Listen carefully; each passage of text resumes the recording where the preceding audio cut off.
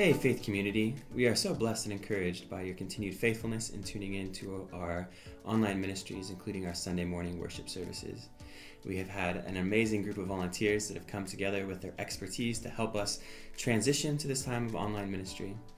Online ministry is new to us, and I know it's new to many of you. And so, what I wanted to do today was take a couple minutes to just share some tips for how to get the best out of our online ministry experiences, and also share some ways that you as a church could help us out uh, by helping us spread the word.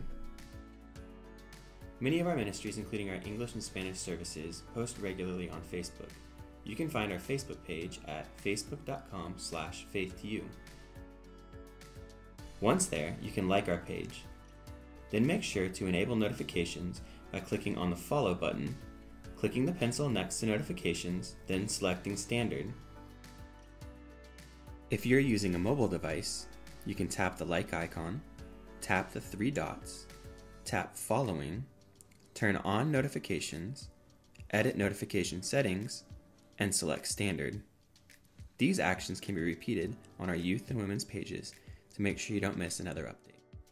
Many of you love the interaction that can happen on our Facebook page during the Sunday morning services, but sometimes the comments can be distracting during times of worship and teaching. You are able to turn off comments in our live streams by hovering over the video with your cursor, then clicking the Hide Comments icon. If you're on a mobile device, tap once on the video, then tap the Turn Off Comments icon at the top of the video. Lastly, Facebook runs on algorithms, and you can help us get our message to more people by doing a few simple things. First, you can like and comment on any post you see from the church. This helps the post get in front of more people. Even if you're just posting an emoji. If you feel inclined, you can also share any of our posts so that your friends can also see the content.